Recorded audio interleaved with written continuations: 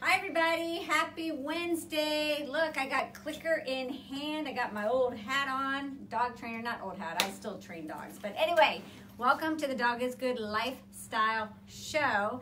And today you're in for a treat. We're gonna do something a little bit different because um, this is Train Your Dog Month. And um, we thought what better way to talk about our pups and training than to just have a conversation around that. So I am going to ask you right out of the gate, go ahead and share this with your friends. Um, if you don't know who I am, my name is Gila Kurtz. I'm one of the co-founders and co-owners of Dog is Good, which is a lifestyle brand for dog lovers. And we'll do a little zoom through our lobby here in just a second to show you kind of what we're all about before the end of our show here today. But um, one of the things that I'm most passionate about and the whole reason why the company ever launched to begin with was because um, as a professional dog trainer, I really wanted to celebrate uh, the connection that I had with dogs, and more importantly, the connection that I saw other people were having with dogs. And to do that in a creative way with products that just recreated the emotions that we all have around our dogs. However, I still train dogs, and I have been training dogs for the past 18 plus years. I know, I started when I was born, I get it. But anyway, I um, have been training for quite some time, and because I'm very taxed with my schedule and whatnot, I have chosen in the past five years to really hone in on the area that I feel um, is my area of expertise, and that is in the area of puppy development. Um, my commitment has always been to build, help families build a relationship with their pets on trust and mutual respect with the objective that here's this puppy that they bring into the house, they want to spend the rest of their life with this puppy for as long as they possibly can. And the best way to do that is in a is in a is in a way where the um, the the family is fully aware not only of what they're getting into, but of how to best work with this new bundle of fur that they love so much. And let's face it, when it comes to puppies, um, it gets a little crazy. I mean, there is a reason why God made them so flippin' cute. Because when you're ready to pull your hair out, they just look at you and tilt their head like, what? And you know that, um, you know, they're going to be with you. But it is so much better if you train them right out of the gate. And that's really what my emphasis and focus has always been on.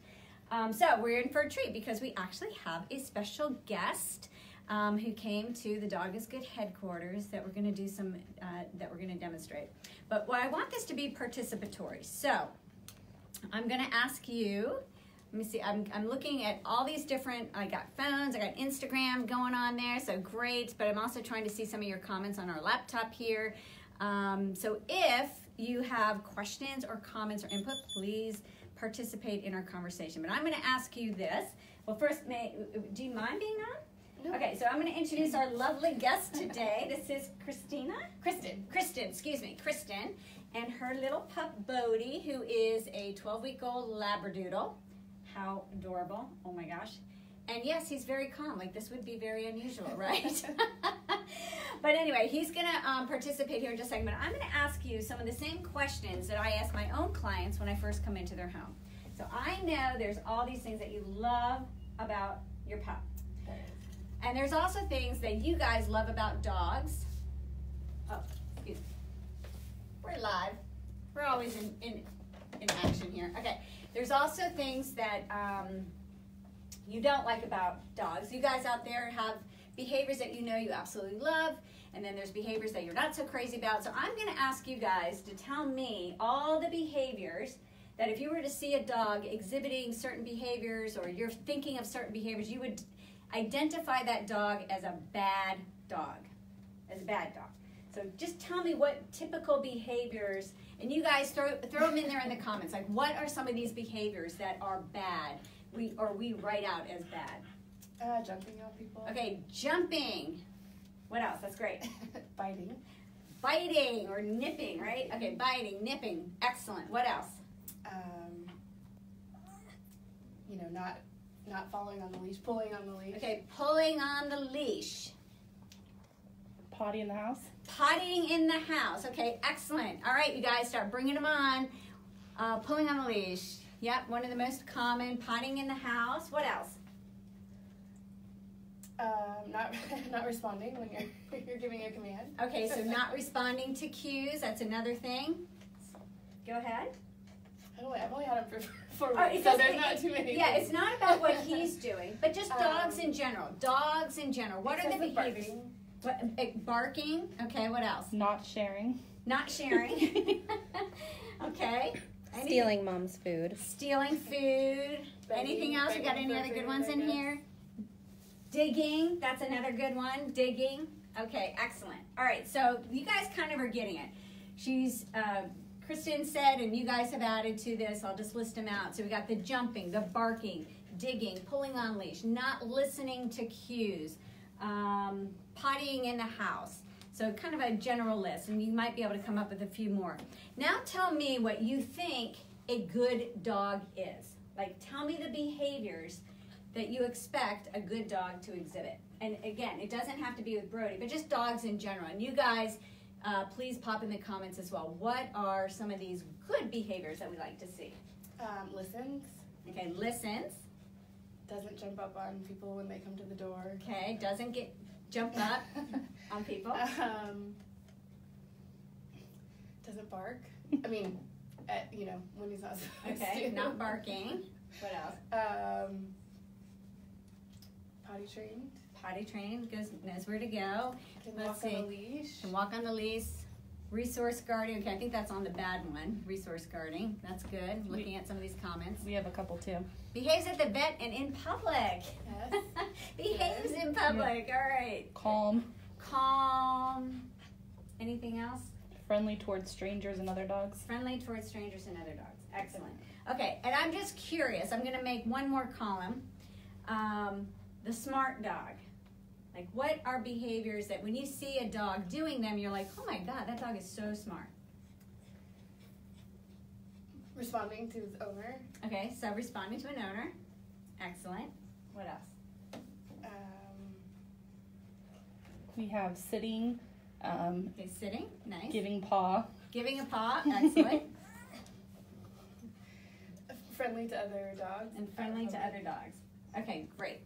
Um, one of the things I know we're going to want to do during our time here, I'm just doing a little aside here. Probably going to want to get Bodie a little bit of water, and I'm going to work him in breaks so he doesn't get too stressed out. Um, all right, so you guys have just listed three columns. The column that you call the bad dog, the jumping, the digging, the barking, the um, running away, the not listening to commands, the putting in the house, the digging, all those lovely things. Then you said the good dog. Oh, the dog that sits, that you know greets people politely, that uh, doesn't pull on a leash, um, knows where to go to the bathroom, et cetera, et cetera. And then the smart dog, and you guys are kind of getting on onto it. Is they they you know they might do tricks, they might um, listen extremely well to advanced commands, et cetera. So this is what I share with everybody when we're first getting together, and what really I do want you to understand, because when you start to work with your puppy, think about this: of those three columns, which is the dog? Like into this world came this creature, and which column do they truly belong in? Like who are they? Are they the bad dog as we've defined them, the good dog as we've defined them, or the smart dog as we've defined them? I think they're all of them. I mean, In essence, in true essence. oh, they're the good dog dog.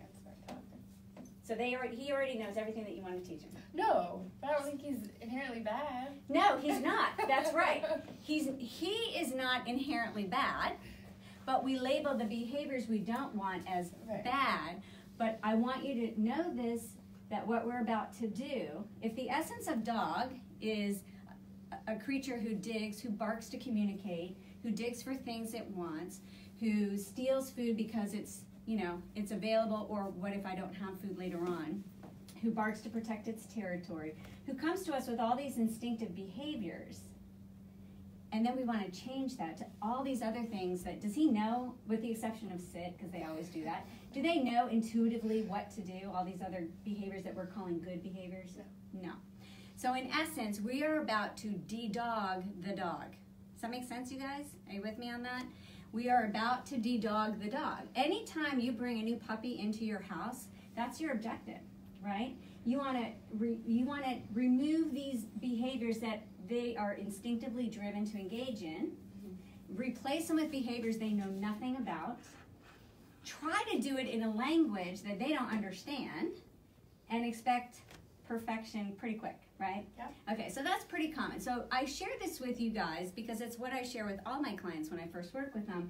It helps to give you perspective. Would that be like so frustrating for you Mhm. if I was like, you you were like a particular way, and I'm like, no, I need you to do this, but I start saying it in gibberish or language you don't understand. Yeah, sure. Okay, very much so. So, one of the first things to understand when we're first working with a pup is to know, hey, this is who they are, and my job is to show up as the best teacher possible, understanding that I'm trying to replace what they want to do naturally with something they don't know, and that I'm gonna, as their teacher. So I want you to look at yourselves not only. You consider yourself a dog mom, right? Yeah. Yeah, totally. Because of course we're dog moms. But for a little bit, when you're working with him, could you also consider yourself his mentor, his trainer, his teacher? Sure. Okay. And when you come at it from that perspective, does that put you in a different position? Yeah. Okay. So when he potties in the house and you're trying to help him potty outside of the house and you get frustrated, what might be the conversation you have with yourself after our conversation here that helps you prepare him better to do the things that you want him to do? Uh, pay, pay more attention. Like maybe I need to get him out, trying Mhm. to go outside sooner. Right. Um, you know, Right. because he had to go and I didn't Okay. get to it. Excellent. Excellent. So, from the training perspective, coming from a place where you ask yourself this question always What can I do as his teacher, as his mentor, as his trainer, whatever you want to call yourself? Because you're not dog mom in that moment, right. okay? It, what can I do to set him up for success? Because I want to change him, not who he is, but how he acts. Um, what can I do to set him up for success? And so the first thing you're going to do is look at the environment, right? And you're going to ask, and you're going to figure out what do I need to do to prevent him from having access to practice all the behaviors that I don't want him to do. So we'll address a couple of yours today because we're, we're going to have limited time. But we'll figure that out. Like, well, okay, if we don't want him to jump, what can I do, first and foremost, to prevent him from practicing that behavior while I am teaching him something completely new and showing him that this is the way we're going to make it happen. Okay, so that's the perspective that we're going to come from. The other piece is, um, and normally when I do this, my first appointment for the, I don't know, uh, I have a lot of trainers who, who are uh, fans of Dog is Good. I don't know about you guys, but my first consultation with a client is always about two hours because there's a lot of conversation that needs to go on. We need to talk about, okay, here's a pup that's at 12 weeks of age. Where are they developmentally? What can she expect? Um, she will be better prepared to know what to do in week 13 and 14, 15, and 16 if she knows exactly what to expect here. And how can I, as her trainer, set her up for success so when she hits those frustrating moments, she knows, oh, this is what Gila was saying was going to happen. Okay, I got this. And she works through those frustrating moments because that's really key. Um, so, my style of training is uh, I love using clicker training. I feel that because uh, we're going to work with him and teaching him some new things, but we're trying to talk to him so much, Mhm. I tend to talk a lot less. In fact, I almost don't talk at all. I tend to use just the clicker and conversation. So, are you familiar? Have you ever seen clicker? Heard Yeah. clicker? Okay, so she's familiar with the clicker, and, and most of you, I'm just going to make the assumption are, but for those of you, the the one percent, like you know, you're watching the airline movie, and they're like, for the one percent who has no idea how to buckle their seatbelt. for those of you who have never used a clicker or heard of it, it's just a small device. It's an acoustic marker. It lets the animal know that in the second they just did something, that is exactly what you wanted them to do. And every time you click, they they get a reward. They get a, typically their top reward, which usually is food. And that's the other thing too. We'll talk about briefly um, for just a second. Um, I'm going to ask you, Okay. um, what's your favorite treat? Ice cream. Ice cream. Okay. So let's say I invited you over to my house and I said, Kristen, um, if you will wash the dishes from my dinner party, I will give you. I got five different choices of ice cream that you could have uh, for dessert. Would you want to wash the dishes? Maybe. Okay. okay, so what is making that now? That's a great, great answer. What are you basing your decision on? I don't know how many dishes I have to wash. Okay, that's good. That's excellent. Like, what do I have to do to get the reward? That's a very good, valid point. What do I have to do to get the reward? Okay, so there's only like, okay, I'll, I'll address that later. But, and what would be another thought that you might take into account? Is it the kind of ice cream I like? The five options? I love it. I did not prep her on this. Is it the kind of ice cream that I would like? Okay, what if it's all the flavors that I like in my in my freezer and none of them that you like? She would not be motivated to move into action. So the objective with whatever reinforcement you're using has to be something that motivates the animal. It you might think it's motivating for you. Love, praise, and affection is very motivating. I use it all the time, and I love it. And I love it because I selfishly get back lots of love and attention from my dog. Not selfishly, but you know what I'm saying. Like it's a it's a back and forth in, interaction. But there are times, I trust me, where Bolo is like, "Lady, I would rather have a treat than all your love and attention and kisses, okay? Or I would rather have my kibble." So be very clear that even though you're their mentor or teacher, your other job is to determine what really motivates the animal into action. Now, whether you like it or not, most animals are motivated by food, okay? Especially dogs, especially labs, probably especially Labrador. Is he very food motivated? He is. Okay, Yes. not surprised. So we, uh, the click will equal a treat um, in this case, but it can also equal food, etc. And the other question that I often get from new puppy owners is, am I going to have to walk around with my clicker at all times and forever? And the answer is no. Um, this is a tool that I like to use to teach something new and then ultimately fade out of that. But will you ever stop rewarding your dog for doing things that you like? No. Okay, right. Because if we choose to remove what motivates the animal into action, ultimately that behavior starts to slide a little bit, disappear, become less solid, etc. So those are just some of the key things that um, we'll talk about. Now, um, let's introduce the clicker to him. Okay. And Just put him down? yeah, but just put him down. Now I've just met B- Bodie, and we're gonna bring him over here. Come here, Bodie. Come here, buddy. And I might have you put keep his leash on so I can keep him within the um, the camera range here. Come here, Bodie. And you're welcome to come bring him over here too. This is all new for him. Good boy. Sit. Give me some. Good. Okay. Very nice. So I'm just gonna get him used to the clicker here for just a second. I'll have some treats.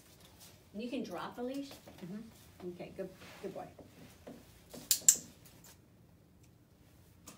Have you used a clicker at home? No. Okay, so he's just getting introduced to this right now. I'm just clicking. I don't have to hand deliver the treat. I can drop it on the ground.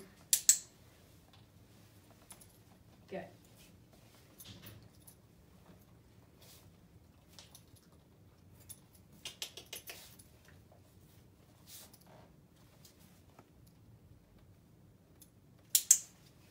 Good boy. There, good boy.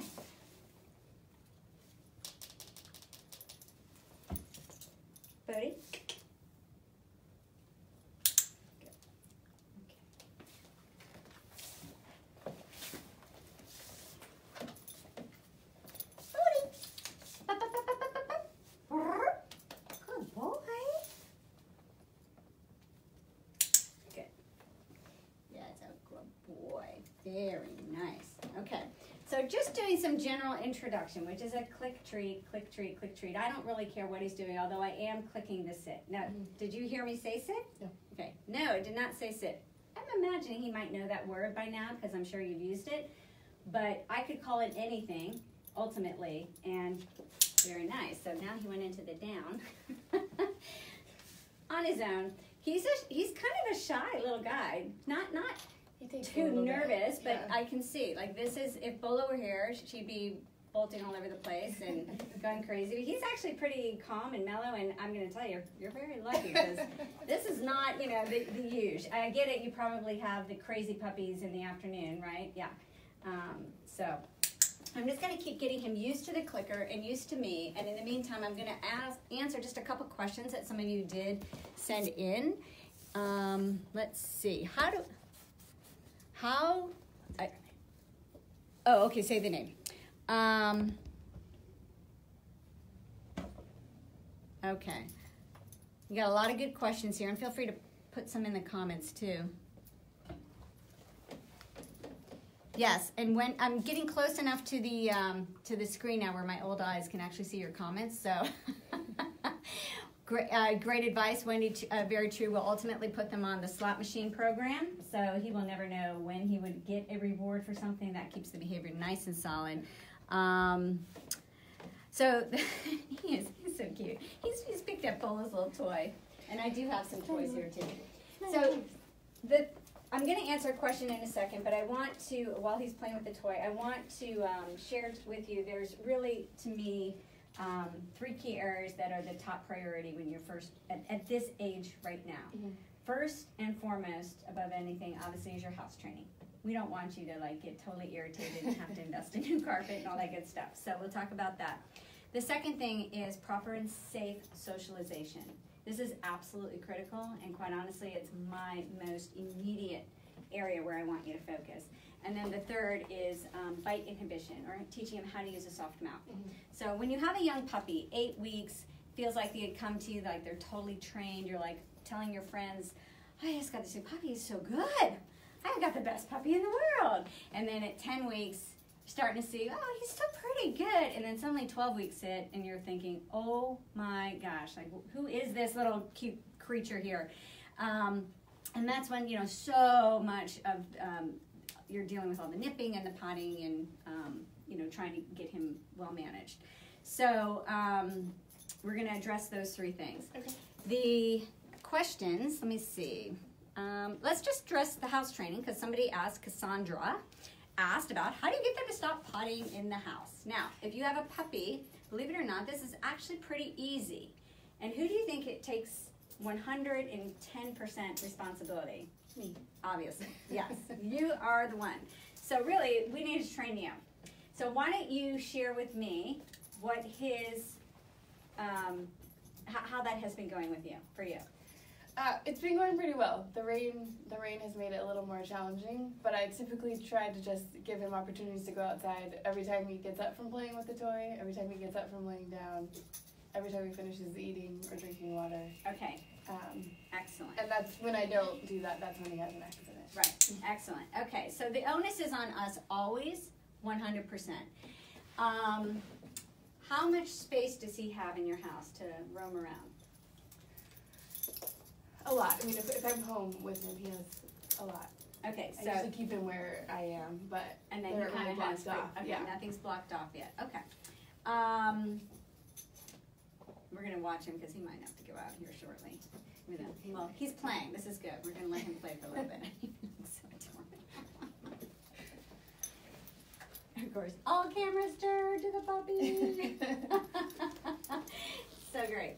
Here, I got another one. I got a biscuit. I got a biscuit. Yeah, excellent. Um, so, um, first and foremost, no free rein of puppies in the house. Okay, that's number one. Um, so, how do we keep them on a in, ensure that we can prevent them from potting in the house? You got a lot of it right, quite honestly. And by the way, you guys, um, we live in Southern California, and something unusual has happened this past month.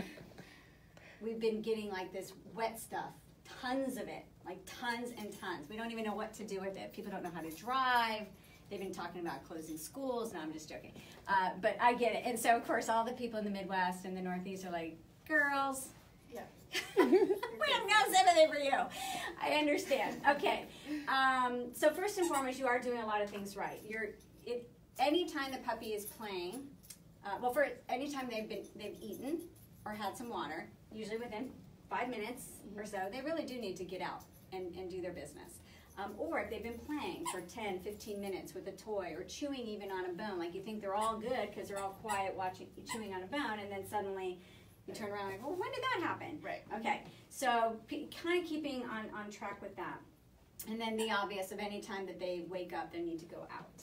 Um, so one of the ways, I'm just going to ask you a lot of questions. Okay. And um, there's no there is a right answer, but it doesn't matter if you don't pick the right answer. I will share that with you ultimately. So when you are thinking from this perspective now, what can I do? What can I do to prevent him from having those little mini accidents? Just give me some ideas what might work for you. Um, I mean, keeping him contained into one area, Okay. probably. Okay, so how would you do that? Um, I'd have to get some gates Okay. to block his access. Okay, excellent. So that's one possibility. Some gating, creating um, Um, opportunities. and then just more opportunities to go out. Okay, excellent. More opportunities to go out. Now, when you have him in sort of, uh, if you were to have him in a contained space, let's say the kitchen, and you have him kind of engaged in something, but you're cooking, let's say, or you're doing those dishes that you know you're debating whether or not doing. um, how could you still ensure that he might not potty? Um, whoops, might not potty when you're not paying attention. Uh, I mean, I don't know. Okay, so I'm going to give you a couple tips on that. Okay. First, she has it totally right. Um, when when you cannot watch your pup at all, like 100%, they should go into a nice small contained area. It could be their crate, it could be a pen, um, or it could be that they're tethered to you. So his leash or a lighter line. I like to use a lighter line. And quite honestly, for a pup, Mhm. most of the pups that I've ever worked with, if I'm working with them full time, they're pretty much tethered to me. So I actually tie it to my belt loop. Okay. Um, if I or I wear a little fanny pack if I'm wearing my um, like Lululemon kind of Mhm. get my my leisure my what do you call that my leisure wear yeah my athleisure look. Um, I will just uh, secure it to that. So then they're right here because you know that there's something that they do before they actually potty. Yeah. They get up and they're kind of smelling around, and then that kind of alerts you. Mhm. So that would be my suggestion: is to have him more on a tether. So when you are in doing other things, like you're watching him, but you're not like, bam, I'm totally on you, Mhm. right? So that would that would kind of help to alleviate that. Then in those moments when you really can't even do that, he really should just go into his crate, and it's good for him to be in his crate. It's a safe place; they like it. Um, and so that's a good thing. And he can have, um, if you had a bone or something like that, if you were home and it was a big thing that he could not break anything off or ingest, whatever, you could have that in there with, him for a little bit until you came back after your shower or whatever it takes. Um, but please know that you would never leave anything in that crate with him that he could ingest ever, okay, when you're not there. Um, the regular scheduling is also helpful too. And so you can begin to track when um, he is potting. So if you're noticing, like, wow, okay, about now he goes here and he goes here and he goes here, and I notice after he's been playing with toys, it's about 10 minutes now. Um, you can kind of start tracking that, and then that'll help keep you. And are you home all the time? No. Okay, so when you're not home, where is he? Um, so he just started going to daycare. Oh, So he's done that a couple times. Okay. Um, and then if he's not there, he's kind of been fenced off. We have a, larger bathroom downstairs. Okay. He can't. It's room for his bed and toys. And Okay, all right, perfect. May I ask and suggest that you consider a crate? I have a crate. You do, okay. Yeah, I was just concerned that he would be left in there longer than he could Right. support without going to the bathroom. So that's Okay. why So I just go for a little while. He's Okay, perfect. So the average um, expectation would be his age plus one. So at three months now, he could conceivably stay into in his crate for about four hours before he really, really has to potty. This is would be ensuring that he has had all of his physical and needs met Mhm. prior to being put in the crate. Mhm. Not the ideal, like we don't, you know, Right. whatever. But if if it had to be, it, he could go that long. Okay. Yes. And what do you think he's doing anyway when you're not there? Laying down or playing with the toy. Right, he's sleeping pretty Yeah. much, yeah, at his age. So here you go, buddy. Whoops. Okay, so um, for those of you perfectionist trainers out there, I am fully aware my timing is off on my click. I'm trying to talk and do this at the same time. Come here, come here. Good boy. Okay, so um, that's managing the house training. Mhm. Okay, and um, it is it can be a challenge. Now, when you uh, see an accident after the fact, what do you do? Uh, I just clean it up. I mean, it's not his fault. Right. It's not his fault. She's on it. That's right. She's just going to clean it up. There's nothing she can say. There is no reason to bring your dog over to ask them what the heck just happened here. They have no clue what you are doing, and um, yeah. But if you were to catch him when he's like doing that sniff thing and he's about to, what would be the best way for you to handle that? Well, I've typically just picked him up. Yeah. and carried him outside. Yes. And so that is what you want to do. Yeah. It's also helpful if you can startle him a little bit and kind of like, I usually, you know, I'm like a, ah, you know, like, oh, no. oh sorry, no, no, no, no, no, no. He's like, what did I do? I usually will make like a big noise, startle him, and scoop him up, put him outside, and then immediately turn, you know, I call it being Dr. Jekyll and Mr. Hyde. Um, in that moment, I'm like, ah, and then turning it back into um, the niceties. So, um, all right, the second thing that you want to be cognizant of is the, the nipping. We all don't like the nipping. We want to teach them how to use a soft mouth. And um, puppies teach, yes, a good boy, you want that toy, yes. Um, puppies um, teach each other this, right? So the easiest way that I have ever done in helping with puppies is just to kind of act like one of those original puppies from this litter. And when those teeth touch you, um, it's a yelp, okay? It's a yelp, very loud, like I say, be the Academy Award performer of yelping, and then just a, a removal of yourself from interaction. That's 60 seconds removal, so that he begins to make the connection of, hey, when I did that, she yelped, and then she ignored me for like 60 seconds. Like that, he doesn't want that. He wants to be able to continue to engage with you. Now that's easy if the dog is kind of mellow and chill, but if you have like a little sharky guy, um, that's a completely different story. So one of the ways, let me ask you, what could be helpful in managing while you're teaching him the nipping thing, um, helping to manage his, help him not practice that? Like what would be Um, I've just been replacing it with a toy for Right. right. chew on. Okay, and part. that's exactly what you want to do. So, whenever you're interacting with your puppy, you want to always have at least two or three things. Can you guys kick those over to me? Thanks. So, as I see the puppy approach, I immediately have something I can put into his mouth. And if he doesn't want that one, like he didn't, he's a smart guy. He's going for the biscuit and not the um, and not the French fries. Bolo had French fries this morning. it's kind of funny. And his mouth is on me right now, but it doesn't hurt. But I'm gonna do it. Oh, okay. Uh, I'll do it if he. Um, now you're not gonna do it, right? Okay. Fries. Biscuit, a little bit healthier, not much. Still carbs. Still carbs. About a ball? About a ball? Okay. But the point being is you have stuff and um, you have things that you can put into his mouth immediately. And you always want to have them available to you. And then the other thing is um, working outside of your personal space. So instead of playing with him like right here, right? I'm giving, I'm teaching him a little bit of personal space here. Like I love you, and we're gonna get into a phase. Where we're gonna get all over each other. But right now, when you're nippy mouth, um, I don't want you jumping all over me and nipping me. Okay? There's that. And then the proper and safe socialization, which I told you we touch on. So you're gonna hear conflicting things. You're gonna hear, don't take your pup anywhere. Quarantine them completely until they've had all of their shots. And I understand the importance of that. We don't want our puppies to get sick, and I completely understand that. But there are so many ways to safely socialize your pup. Because let me ask you, what do you think socialization is? How do you define that? Uh, I mean, I, I think it could be a lot of different things, but just seeing a lot of different people and a lot of different dogs that Mhm. look different and that sound different, um, and then actually, you know, interacting with them. Yes. So, um, socialization is just the opportunity for our puppies to experience all these new and novel things and have some sort of positive experience in those moments. So, um, it, different sounds, different different places, as you mentioned, different people, um, children, you know, the mailman, people wearing hats, whatever.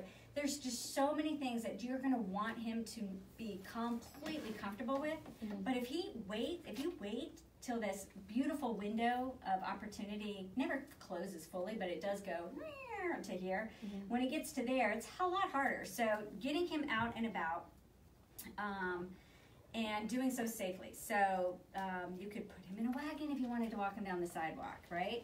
You could go to a coffee shop. This is what I used to do. I loved, oh gosh, you know, I think about my life a few years ago before I was like working all the time.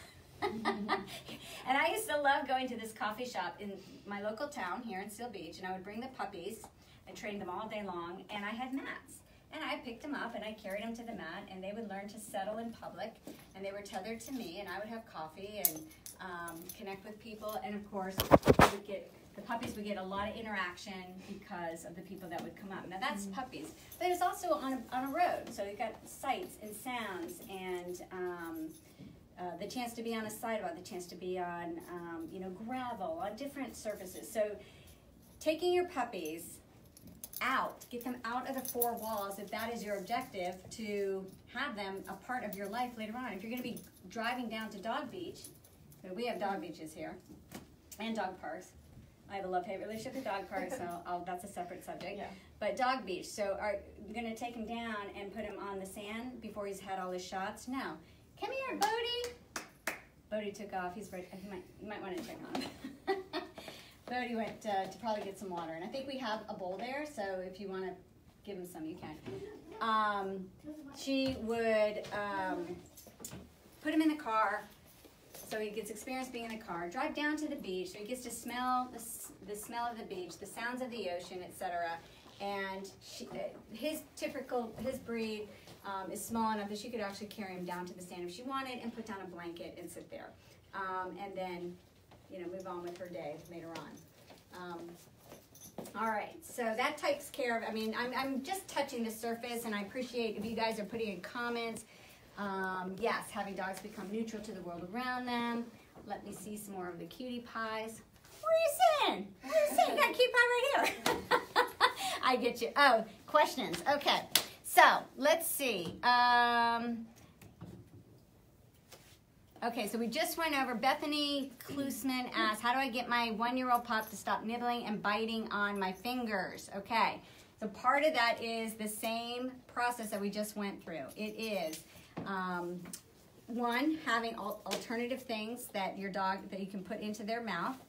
Two would be to yelp and remove yourself from the situation. And part of the easiest way to do that when you have a one year old that might race after you when you try to go is to have them tethered to something. And as you're playing and engaging with them, um, if he nips, you yelp, you walk away and disappear for 30 seconds and then come back. And little by little, as you start to see that the, the dog is using a softer mouth and not um, nipping at you so much, um, you can begin to also put that on cue. You can then actually click and treat the soft mouth as well. So that's kind of a process there. Um, let's see, another question is How do I stop? This is from Charlie, Luke, and Rusty. How do I stop a dog from barking at people and standing on his hind legs while barking at the people? Okay, so first you would want to ask yourself, why is my dog barking at people? Is he barking because he's like, hey, I'm here, come play with me, I want you to be hanging out with me? Or is he like, bark, bark, bark, get away, get away, get away? You're like, where, what's going on with that kind of bark? Like you have to sort of know that first. I'm gonna make the assumption here that it's a barking because the dog wants distance. The dog does not want you to come closer. So the way that we would handle that is far, far, far enough away from what that dog views as a trigger. So before it would start to bark, there is a point at which the, the dog sees something. It's far enough away, it isn't barking yet, but it does see it, okay? That's where you want to play. That's your safe space. And what you want to start doing is, come here, you. What you want to start doing is um, the moment the dog sees his trigger or the trigger, we want to um, immediately provide access to something it loves. And even better, if you've taught it a watch cue or some sort of focus or attention cue that you see the trigger and you might say, Bodhi, watch, and then immediately start giving it access to the food. And little by little, what we start to do is move closer and closer and closer to the trigger and provide access to things that the dog loves in hopes of making an association. Oh, I see that thing that I didn't want, but wait a minute, every time I see that, now I get access to something I love. Yeah, bring it on. Let me, I have no, no problem anymore with that uh, person or whatever being there. So I hope that answers your question. These are, you know, I'm giving you quick answers to things that require some, um, some work. All right, so let's work this little guy. We're gonna start first with, what do you think would be the most, if you, if you were to learn nothing else but this one thing, what would that be? Oh gosh. Um, I don't know. Probably like sit, lay down, go to place or something Okay, like so, come here, Bodie. Bodie. Yes, get over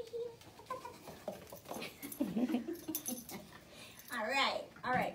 Okay, I cannot teach him all those things right now, Right. uh, but I certainly can. But there's one core behavior. Some of you guys out there, my trainers, what do you think is the number one, first and foremost thing that we must, must, must teach him before we can teach him anything else? Or this is at least what I do. Can't speak for everybody. Let me see. I'm getting any responses here? Mel or Wendy, if you're still on. Come. Come is a great one. But I can't get him to come if I don't have him looking at me first, right? So focus first. Come here, Bodie. Come here, Bodie. Yeah. Yeah. Come on. Yeah, boy. Here he goes. We're gonna have a potty accident here, sure. Yeah. Saying, I'm sure. Okay, so let me get started on this. So the first thing we want to do is teach him to watch, to look, or whatever you want to call it. Um, without him looking first, I can't get him to come. But come is the second thing that I do teach, especially a puppy, because they tend to come naturally, and it's one of the most difficult later on when he gets to a place where you know at 16 weeks he's like, mm, I don't know, like I love you, but I'm pretty much digging what's going on over here. Right. So, oh, come here, Bodie. Come here, Bodie. All right, so let me just quietly start working with him like I would, and then I can get him focused on me. All right. Yeah, you know what we're up to, don't you? You get a few treats, get it all set up here. All righty. Okay.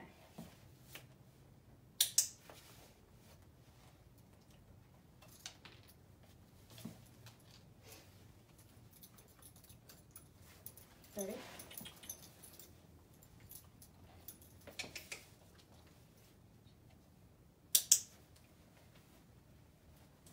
So uh, you guys may not be able to see his eyes. I'm clicking his eye contact with me. Do you want to use the word watch or look? What would you say? Okay. I tend to use watch. Okay, let's Okay, use watch. Bodie, come here. Pop, pop, pop, pop, pop. But watch.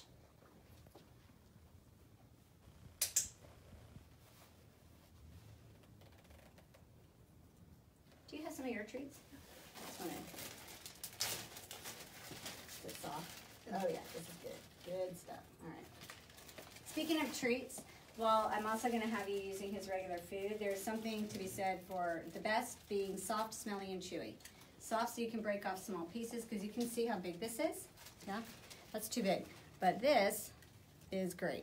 So I can use one treat for an entire session. Okay, buddy. Buddy. Good boy.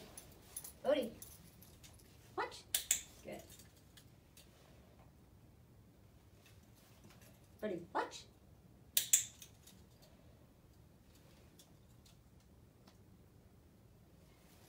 Ready, watch.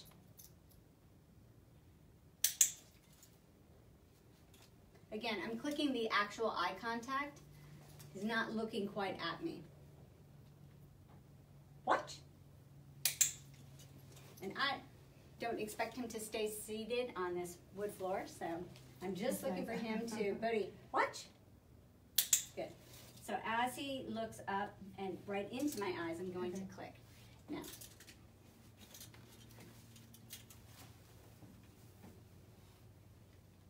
I have the treat.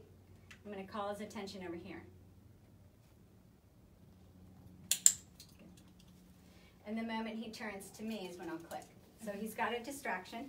I'm not saying the cue if you notice, Mhm. right?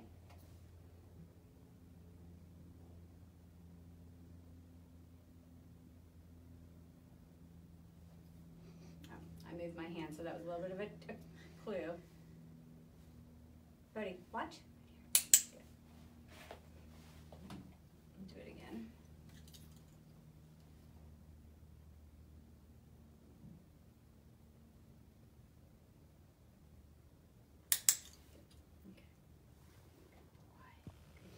Okay. Now what I could do is put it out to the side and then just say Bodhi watch. Bodhi, watch. Good. And you want to be quick because you want to click it the moment it happens. Yeah. Do you want to try? We're going to go, I'll help you. So hold this in your left hand. Hold the treat in your left hand because you're right-handed, right? I'm left-handed. Okay. So uh, you'll hold that in your right hand then. Okay. And you're going to cue with your left hand. Put the treat in there as well. What you're going to end up doing is um, you're going to cue with your left. The moment he looks up at, you're going to cue with your left. Oh. Mhm. and the moment he looks up at you, Okay. you will click, and then you're going to reach with your hand, take a small piece off, and Okay. give it to him. Okay. And you can even have that behind your back if you want to. But come stand in front of him. And what I'm going to do, because he's going to look at you, I'm going to tap my foot so he's not looking at you. Whoop. Okay, we'll turn around a little bit. Okay, I'll just stand here now. You cue him. Bodhi walk. Buddy, look. Good. Treat. So we are going with look. Oh. Doesn't matter to me. Whatever's going to work for you, though, is okay. Watch. Watch is fine. No, I, it so doesn't matter. So you pick which one you want, but you go ahead and um, I'm going to keep getting his attention off of you, and you start using it. Bodhi, watch. Bodhi, watch. Click. Good. Excellent. Now, that was great timing. What I want you to do this time is when you cue him, if he doesn't respond right away, just make a little noise. Don't repeat the cue. Okay. Okay?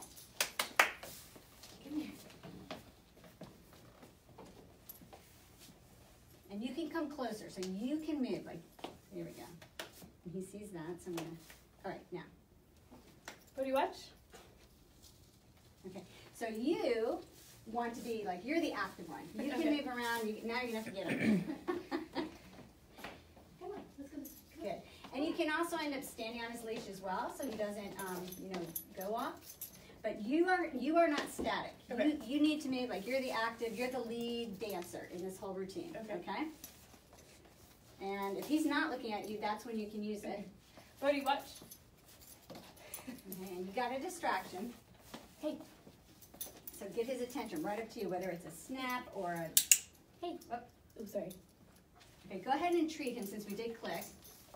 And stand on the leash, and I'm going to remove the distractions. Look. look. Don't lure him with the treat. Yeah, there we go. Excellent. Okay. So let's get him focused in on you. So you're going to do a higher pitch. Buddy, watch. And your voice is going to go up, and you want to use that left hand to help with a physical cue. You can snap, you can make noise, anything to get his attention. Bodhi, watch. Click. Good. Good boy. Excellent. Now keep your thumb on that clicker. Okay. On the, yep. Okay. Left hand is all empty, right? Okay. And cue. Go. Bodhi, watch. So get down a Bodhi, little watch. lower. I kind of watch. Okay. Now we're going to do five in a row very quickly.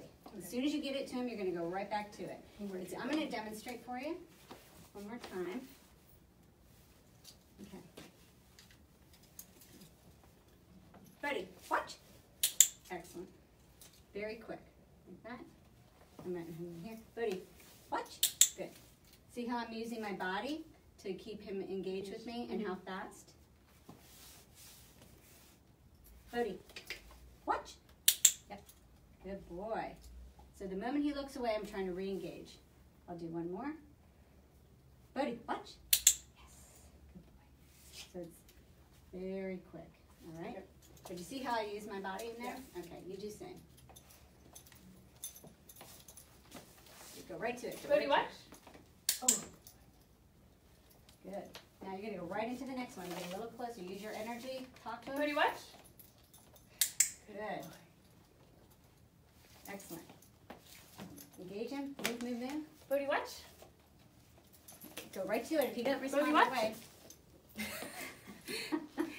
Hey, watch. Click. Good. Good boy. Good. Excellent. Okay. Let me ask you, if this were a dance routine, who is the lead? Right. Okay, you are for sure. But who was the lead Oh, here? he was. He was, right. So for you to uh, become that lead part, um, player with him, you just need to move a little bit faster. And stay, see how close he is with me, the proximity? I'm just gonna um, get his proximity back. and he probably has to go potty. So we're gonna take a break here in just a second. In fact, why don't you go take that because I can tell. You don't want to mess it up. Okay, we have questions. So go ahead and you want to read me the questions? I have a few. I'll read you. Yeah. How much treat do you replace a meal with treat? Oh yes, uh, as far as treating, so just like people, um, calories in, calories out. So we don't want to feed the dog all their food and then add on all these calories with treats. We want to be cognizant of how many treats they might be getting, which is why I like to use their actual kibble. So what I will share with Kristen when she comes back is uh, most people with their new puppies, they put the food down and then they feed their puppy and then they try to do training during the day. You should be in control of their resources and feeding time is the perfect opportunity to be doing a lot of the training and having them earn their meal as you're doing it. Um, now, it does require, if you're going to be splitting up that meal a little bit, to be able to stay on top of the house training component, but um, that's that's really key. Um, you can also see too where understanding the dog's body language and energy. So you can see where I'm able to keep the dog a little closer and she is uh, learning how to improve her skills in doing that. And that's just going to be practice. You know, what do I need to do to match my dog's energy and keep them engaged on me? But really, quite honestly, we pushed the pup a little bit too long and he did have to go potty. All right, so that's part of it. That was part of it. Um, the other thing too is when training, you would do this in short spurts, so like two minutes at a time, and make it a game. Um, so that they want to participate. Lots of times, if I'm doing the watch thing early on with their food in the morning, like his meal, Mhm. I actually will, you know, watch, yes, and then I go throw the, I'll throw a couple kibbles down, and then they go and get it, and they're running back, um, and then it's watch, and again, and he's just turning and looking. So it doesn't have to be so static like we're doing here, but more of a game. And I'll talk to you a little bit more Okay. after we're done today. Okay, so some other questions. Um, we did the barking. Loose lead walking. Oh, here's a really good one. Uh, nanny and company. What's the best and safest way to introduce a puppy to other dogs? Okay, excellent question because this happens all the time. So, uh, not all older dogs can appreciate the cuteness and adorable craziness of a young pup. So, really, first and foremost, be cognizant of that. Most uh, be aware of the dog that um, is going to play with and engage with the pup. So, my dog Bolo, who most of you know, my yellow lab, she's totally fine. Like, she could care less. The puppy could be jumping all over her. She is not going to do anything really. She, at some point, she might choose to play, but for the most part, she's probably just going to ignore it. She isn't going to discipline it to uh, to get it to stop being crazy. But there are other dogs that just won't tolerate it. So in every situation, um, you want to have the pups the puppy on leash. You don't want to be behind the pup. Um, you want to be right next to the puppy and allow the dogs to greet as they're supposed to greet. You know, we want them to be able to do their smelling, engage in some general play, and then you want to, you know, separate them for a second and help to reduce any kind of excitement or energy that may go on. And then you'll be able to see, you know, how things are, are going there. But most older dogs will either tolerate or they just won't tolerate it. And um, we, you want to be you want to be aware of that. Oh, you can let him go to. Yeah. He's like the ball's out of my reach. Um, any other questions that you guys are popping in? Okay, do you have any particular questions? Oh goodness. Um, no, off the top of my head. We have we have one more. Okay. Um, barking and pulling at a dog that's walking by. Barking and pulling at a dog that's walking by. Okay, again, that's going to start with that very first basic skill set. So, the most important skill, in my opinion, is your ability to say your dog's name or the watch cue or look cue or whatever you typically have trained, and that in an instant, no matter what, they look up at you. They look up at you. And um, once you get that trained, um, now you can add it to with triggers. So, you want to always teach something new in a non-distracting environment and then take it into the real world. So if your dog is already currently doing this, you want to take a step back, teach those new skills, and then start to work on those when those kinds of triggers are walking by. And I would also recommend stepping aside. If you see those triggers, you already know what your dog's going to trigger. Going back to that original question, what is it that I need to do as his teacher to make it almost impossible for him to practice that behavior so I can teach him a better response. Because you can't do both. You can't you can't be reactive yourself and trying to teach him something new. So um, if you have a a dog that barks and lunges at other dogs, you know, across the street, or you see another dog coming, you might have already been working on, you know, watch, and then, hey, with me, come over here. And you put enough distance between you and the trigger to actually work on a calm behavior, providing those treats and access to good things while that trigger is walking by, okay? That's how I do that. He's going off He's with his toys. He's interested in dog is good. He might, he might have a new job here. That's great. Okay, one more one more question. Um, fetching. Fetching, fetching. So fetching is interesting because you have some dogs that are natural fetchers and retrievers, right? And Bolo lives for that. I'm so lucky.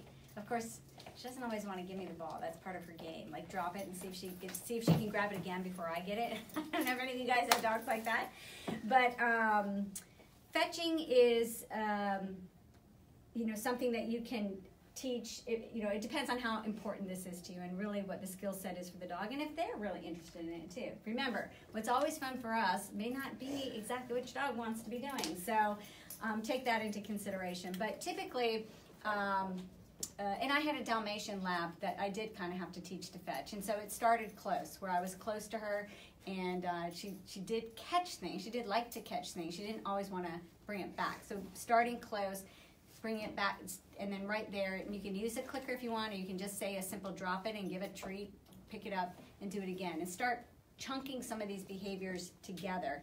Um, versus trying to throw it and hope that they go get it. So starting from short, super short distance, again, going back to your original question, you should always ask yourself, what can I do to set my dog up for success, to make it possible? So super close, super close, being patient, getting a little bit further, a little bit further, and then pulling all those pieces together.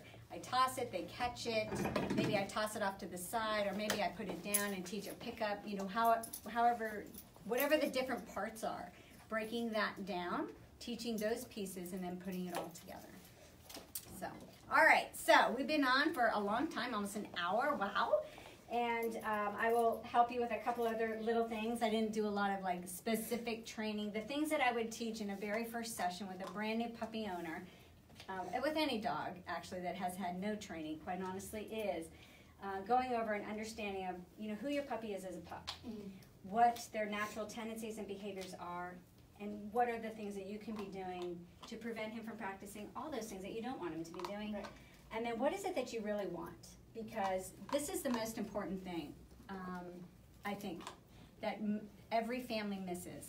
They are not clear on what they really want from their puppy they know what they don't want but they're not clear on what they do want so when you get home um, i want you to think about what do i see my puppy doing when the doorbell rings.